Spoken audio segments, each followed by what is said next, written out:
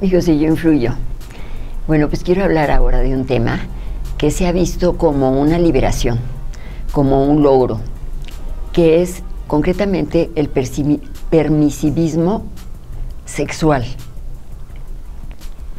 Realmente em, aquí tenemos que darnos cuenta de que la sexualidad es un don, una dotación que tienen las criaturas, sobre todo las criaturas superiores, que encuentran una complementariedad entre varón y mujer.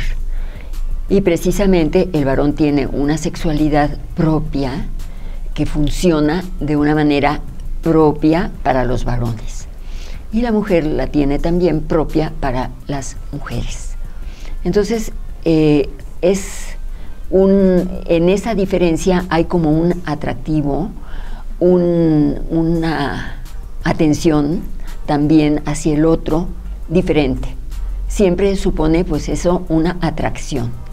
Una atracción que tiene también una finalidad, que tiene precisamente la finalidad de la convivencia, de la, mm, de la acercamiento con otra persona muy distinta y sobre todo, pues se tiene el poder generativo precisamente con la sexualidad. Los órganos sexuales están precisamente capacitados para traer personas de la misma especie. O sea que es pues propio de los seres superiores y propio del hombre y de la mujer procrear a través precisamente de su sexualidad. Entonces sí, hay dos factores muy importantes.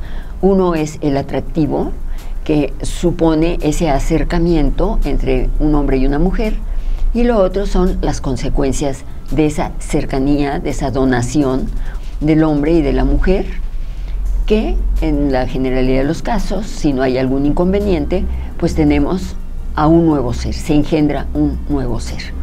Y aquí hay que tomar todas las consecuencias todas las consecuencias. ¿Por qué? Porque no se puede separar simplemente la atracción y el placer de la otra consecuencia que es la responsabilidad de engendrar un nuevo ser. Es impresionante porque es un nuevo ser idéntico a la misma especie, pero totalmente precario. Entonces depende del hombre y de la mujer que los han engendrado. Entonces por eso no puede ser un juego, por eso hay que pensar también, yo mujer estoy ya capacitada para ayudar a una criatura inerme, yo varón ya estoy capacitado también para seguir estas relaciones establemente y ayudar a la nueva criatura. Pues que lo pensemos, porque no se trata simple y sencillamente de un placer o de un estoy con alguien que me cae bien, sino pensar también en un futuro. Amigos, para Yo Influyo, Ana Tere López de Hiergo.